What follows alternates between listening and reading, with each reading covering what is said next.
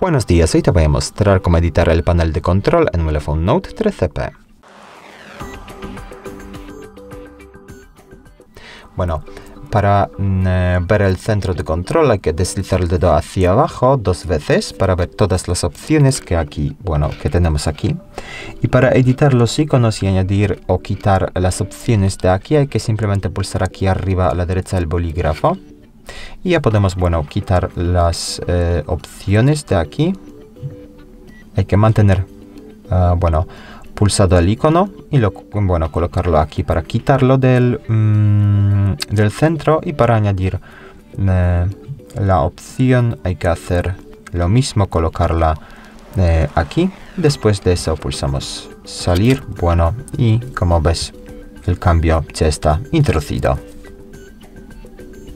Muchas gracias por ver el vídeo, te invito a comentar abajo y suscribirte al canal. Hasta luego.